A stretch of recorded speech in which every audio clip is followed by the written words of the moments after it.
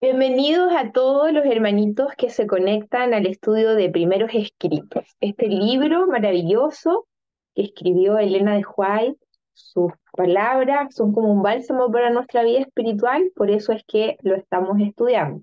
Como es costumbre, vamos a orar para poder entender lo que Dios nos quiere decir mediante su sierva, la profeta. Oremos. Querido Padre Celestial, gracias por el lindo día que nos has dado hoy. Pedimos tu bendición para que lo que leamos nos quede en la mente y en el corazón y pueda ayudarnos a mejorar esa pena que tenemos quizás o ese problema, esa enfermedad, para que nuestra fe por ti sea tan grande que podamos soportar hasta las pruebas más duras. Por Jesús, amén. Empecemos entonces con el capítulo 19, se llama Sueños de la Señora de White dice que están mencionados en la página 42, entre paréntesis, y empieza así este capítulo. Soñé que veía un templo al cual acudían muchas personas. Solo quienes se refugiaran en ese templo serían salvas cuando el tiempo terminara. Todos los que quedasen fuera estarían perdidos para siempre. Las muchedumbres de las afueras del templo, que iban por sus diversos caminos, se burlaban de los que entraban en él y los ridiculizaban diciéndoles que ese plan de seguridad era un engaño astuto, pues en realidad no había peligro alguno que evitar. Incluso prendían a algunos para evitar que se apresuraran a entrar en el templo. Temerosa de ser ridiculizada y que se rieran de mí, pensé que era mejor esperar hasta que la multitud se dispersara o hasta que yo pudiera entrar sin ser vista por ellos. Pero el número fue aumentando en vez de disminuir y temerosa de que fuese demasiado tarde, me apresuré a dejar mi casa y abrirme paso a través de la multitud. En mi ansiedad por llegar al templo, no me percaté ni me importó la multitud que me rodeaba.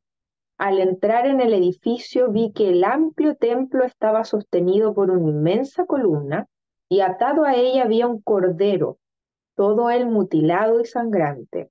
Se notaba que los presentes sabíamos que ese cordero había sido desgarrado y herido por causa de nosotros. Todos cuantos entraban en el templo debían postrarse ante él y confesar sus pecados.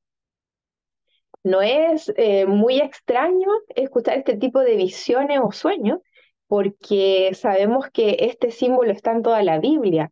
Está el arca de Noé, que era el lugar seguro de salvación para esas otras personas que fueron las únicas personas que se salvaron cuando el mundo fue destruido por agua. Tenemos ese horno fuego ardiente donde los amigos de Daniel estuvieron en el fuego con Jesús y fueron protegidos. Y tenemos hoy en día el refugio en el templo del Dios viviente que está en el cielo, el real, porque que había aquí en la tierra era una copia, y podemos tener refugio en su arca, que es la parte más santísima del templo donde está su ley. Si nosotros hacemos lo primero, porque esto siempre es en tres pasos, y nosotros aceptamos a Cristo como nuestro Salvador, que eso está en el atrio, el mueble del altar de el sacrificio, y fuimos bautizados, que es el segundo mueble, que es la fuente de agua, nosotros podemos empezar a tener una vida plena en Cristo, con todo lo que hay en el santuario, en el lugar santo, el candelabro, con ese aceite de oliva que permitía que la llama estuviera prendida, que es el Espíritu Santo en nuestras vidas, al frente la mesa, los panes, la proposición, esos pan de vida que es la palabra de Dios, y el mueble que estaba delante del velo lugar santísimo, que es el altar del incienso, que representa ese incienso la oración de los santos, porque una vida con el Espíritu Santo, el estudio de la palabra de Dios y la oración, es lo que nos permite ir con Jesús al lugar santísimo para guardar la ley que está allí en esa arca santa. Ahí es donde tenemos que morar con Jesús, pero todo eso es gracias al haber aceptado lo primero, lo primero que está en el santuario su servicio, que es el altar de sacrificio. Reconocer que no hay nada bueno en mí, que todo lo puedo en Cristo que me fortalece, que Él es el que produce los frutos del Espíritu en mi vida, que soy un pecador, que lo necesito a Él para ser mejor y que Él es el único que me puede dar paz y me puede dar salvación. Precisamente delante del Cordero vi asientos altos donde estaba sentado una hueste de personas que se veía muy feliz. Se notaba que la luz del cielo iluminaba sus rostros y alababan a Dios y cantaban alegres cantos de acción de gracias, los cuales sonaban como la música de los ángeles.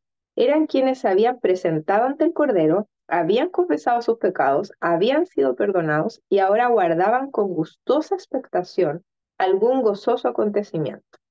Aún después de haber entrado en el templo, se apoderó de mí el temor y un sentimiento de vergüenza por tener que humillarme ante esa gente, pero me veía compelida a seguir adelante y poco a poco estaba rodeando la columna hasta ponerme frente al cordero, cuando sonó una trompeta.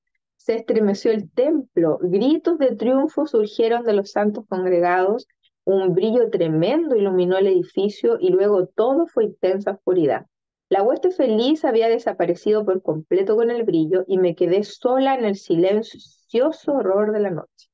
Desperté con angustia mental y a duras penas pude convencerme de que había estado soñando. Me parecía que mi condena estaba fijada y que el Espíritu del Señor me había abandonado para no volver jamás. Mi abatimiento se intensificó, si eso fuera posible.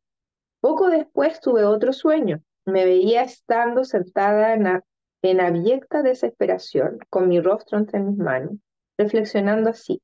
Si Jesús estuviese en la tierra, iría a él, me postraría a sus pies y le contaría todo mi sufrimiento. No me rechazaría, tendría misericordia de mí y yo lo amaría y le serviría por siempre. Es muy interesante oír hablar así a Elena de White con este sueño tan abrumador para ella, porque ella era una persona intachable, era una persona de muy buenas obras. A los juicios de los humanos, perfecta.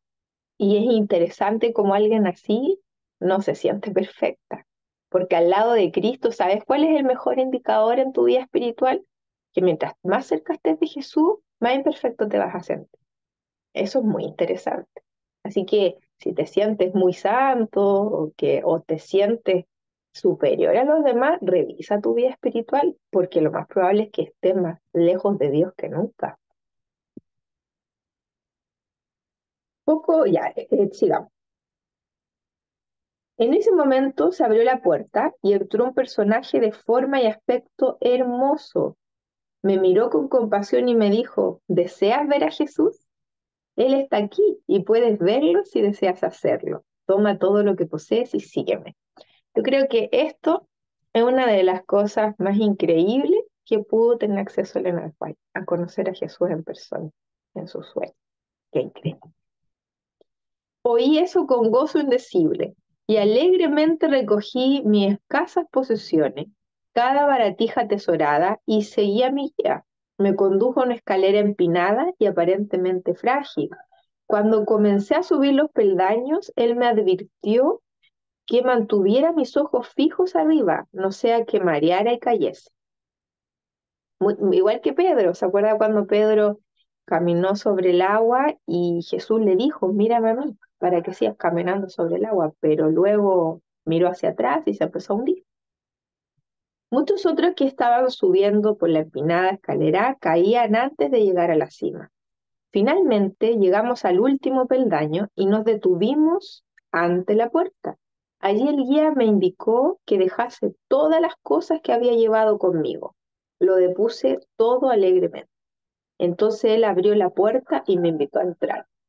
No, no es el tiempo de aferrarse a las cosas materiales. Hay personas, inclusive cristianos, que juegan la lotería teniendo allí el sueño de que les cambie la vida, haciéndose millonarios. Pero es muy infantil y demuestra poca fe pensar de esa manera, porque la verdad es que al mundo le quedan muy pocos años. Entonces, estar aferrado a las cosas materiales quita tus ojos en donde en realidad los debieras tener, que es en las cosas celestiales. Allá es donde tú debes hacer tesoro, porque todo esto que tú ves con tus ojos va a ser destruido por fuego. Ahora el mundo va a ser destruido por fuego, no por agua. Y falta muy poco para que eso suceda. Entonces lo que debiésemos estar haciendo ahora es construir tesoros en el cielo. Jesús dijo que ahí no se corrompe. Hoy en día tú ves la devaluación del dólar, ves la inestabilidad económica, que el dinero que antes valía más, ahora te compras menos cosas con ese mismo billete. Bueno, eso no ocurre en el cielo. Todas tus obras son anotadas en el libro, siempre y cuando tú seas hijo de Dios, porque para ser hijo de Dios legítimo, Marco 16, 16 dice, el que creyere y fuere bautizado, ese será salvo. Ahí recién tú eres escrito en el libro de la vida. Pero el Señor tiene tres libros, que es el libro de la vida, donde tú eres inscrito cuando eres bautizado, no como bebé, porque eso es pagano, como dice la Biblia, a una edad madura como Jesús. Sí, Jesús se bautizó a los 31 años, a una edad madura. Entonces, cuando tú te das cuenta, eh, perdón, a los 30 años se bautizó Jesús, porque eso tiene un símbolo numérico precioso, porque a los 30 está maduro el lóbulo frontal, que es donde está la moralidad y la relación con Dios. El 30 es un número muy importante en la Biblia porque es de juicio, madurez. El sacerdote iniciaba su vida como sacerdote a los 30 años. José empezó a gobernar en Egipto a los 30 años. El 30 es un número muy simbólico y Jesús se bautizó a los 30 años. Entonces, ese es el, el primer paso. Y Jesús te pone ahí en ese libro. Y hay dos libros más, que es el libro eh, de las memorias y el libro de la muerte. Son tres libros que hay en el cielo. Sigamos. Finalmente llegamos al último peldaño y nos detuvimos ante la puerta. Allí el guía me indicó que dejase todas las cosas que había llevado conmigo. Lo depuse todo alegremente, entonces él abrió la puerta y me invitó a entrar. En un momento estuve delante de Jesús. No podía equivocarme respecto a ese bello rostro. Esa expresión de benevolencia y majestad no podía pertenecer a otro. Mientras su fija mirada se posaba sobre mí, supuse de inmediato que estaba familiarizado con todas las vicisitudes de mi vida y todos mis íntimos pensamientos y sentimientos. Traté de protegerme de su mirada fija, sintiéndome incapaz de soportar sus ojos escrutadores pero él se me acercó con una sonrisa y posando su mano sobre mi cabeza dijo, no temas. El sonido de su dulce voz estremeció mi corazón con una felicidad que nunca antes había experimentado. Estaba yo demasiado gozosa para pronunciar una palabra, pero abrumada de felicidad inefable, caí postrada a sus pies, mientras yacía indefensa Pasaron ante mí escenas de gloria y belleza y me pareció haber alcanzado la seguridad y la paz del cielo. Por último, recobrada la fuerza, me levanté. Todavía estaban sobre mí los amorosos ojos de Jesús, cuya sonrisa llenaba de alegría mi alma. Su presencia me llenaba de santa reverencia y un amor inexpresable. Luego mi guía abrió la puerta y ambos salimos. Me mandó que volviese a tomar todo lo que había dejado fuera. Hecho esto, me entregó un cordón verde bien enrollado.